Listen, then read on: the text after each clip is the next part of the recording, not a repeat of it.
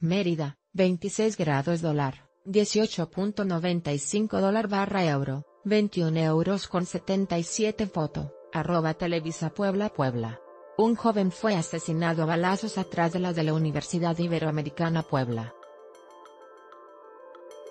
Presuntos sicarios perpetraron un ataque a tiros en una zona de food trucks. La víctima del ataque sería un empleado de uno de los puestos de comida del lugar.